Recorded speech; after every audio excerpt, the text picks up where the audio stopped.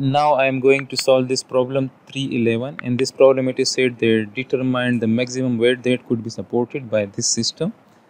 If the maximum tension that can be afforded afforded by this T by this AB and this CAD cable as a 80 pounds right? So the maximum force that can be supported by this AB cable and this CAD cable is 80 pounds. So we are required to find the weight that can be supported right? So let's say that this AB cable reaches the maximum tension right? So let's suppose that that the tension in this AB cable is 80 pounds right? So let me draw the free body diagram. If this is that x and y axis right? If this is the positive x and this is positive y axis and if I draw the tension AB and the tension in the AB cable right so let's suppose this is the tension in AB and which we assume that this is 80 pound right? So it has reached the maximum capacity right? So this TAB can support up to a maximum of 80 pounds right? So let's suppose that this is AB and this tension this force is making 20 degrees with the vertical right? So if this is 20 degrees so then this is also 20 degrees these two angles are alternate angles. And if I draw that weight so that weight is acting directly downwards in the negative y direction right? So this is that weight and which is required to be determined right? So this is that weight. And if I draw the, this force right? So this will be that force at some arbitrary angle right? So if this is that force at this point A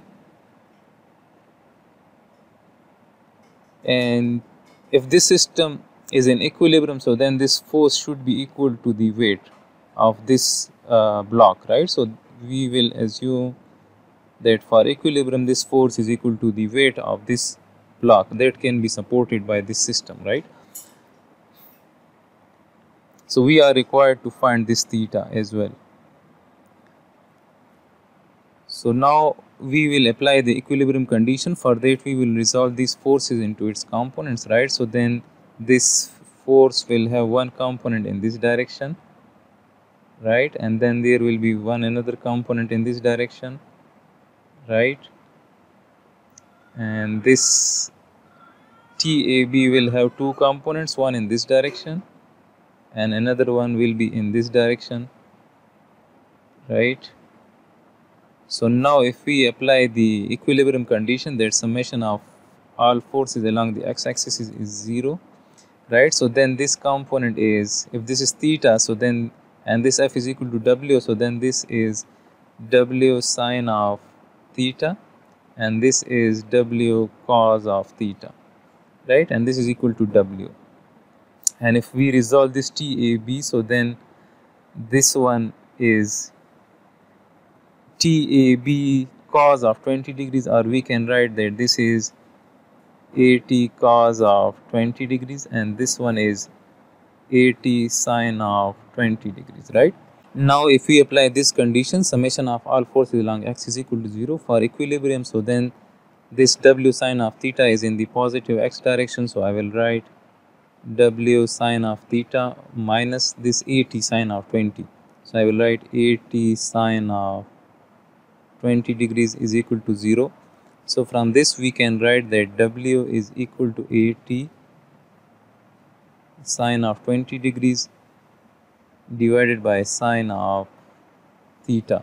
So let's say that this is equation number 1 right? And now if, if we apply the summation of all forces along the y-axis is, is equal to 0 so then this at cos of 20 is in the positive y direction. So I will write at a cos of 20 this is cos component right? So 80 cos of 20 degrees minus this. W cos of theta minus this w right? So this is w and this is equal to 0 so now if if we write it like this so then this will be minus w. And if I take uh, minus w from this so then this will be cos of theta plus 1 and this will be equal to minus 80 cos of 20 degrees so this minus will cancel out and then w will be equal to 80 cos of 20 degrees divided by 1 plus cos of theta. So this is equation number 2. Now since this equation number 1 is also equal to w, this is w is equal to this thing and w is equal to this thing.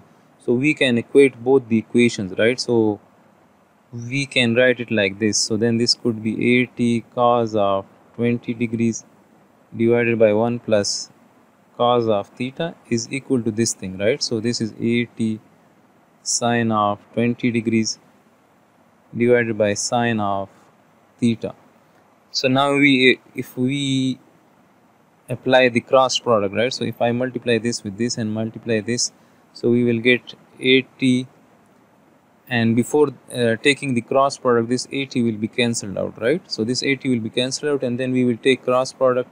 So then this will be cos of 20 degrees sine of theta. And this will be sine of 20 degrees into 1 plus cos of theta right? So this will be cos 20 degrees sine of theta and this will be sine 20 degrees plus sine of 20 degrees cos of theta right? And if I take this term into this side of equation so then this will be cos of 20 degrees sine of theta minus sine of 20 degrees cos of theta and then this will be sine of 20 degrees. Right? So now as we can see that this is again that trigonometric identity sine of theta minus 20 degrees. If we apply this so then this will be sine of theta cos 20 degrees minus cos of theta sine of 20 degrees. Right? So this is the trigonometric identity so now as we can see that this is sine theta cos 20 sine 20 cos theta right? So we can rearrange these terms right? So we can write this sine of theta on this side and we can write this cos of theta on this side. But this is equal to this sine of theta minus 20 right? So I can write that this is sine of theta minus 20 degrees and this will be equal to sine of 20 degrees so this means that this theta minus 20 degree is equal to 20 degrees right? So this sine sine cancels out right? So theta minus 20 degrees is equal to 20 degrees and this theta will be equal to 20 plus 20 degrees. So theta comes out to be 40 degrees right? So now to find the supported weight we can use this equation to find the w and we can substitute the value of theta in this equation. So then w will be equal to 80 sine of 20 degrees divided by sine of 40 degrees. So if I solve this, so we will get the weight that can be supported by this whole system. So this weight comes out to be 42.56 pounds, right? And since this W, this 42.56 5 6 is less than 80 pounds right? So it will be okay for this system to support this much weight right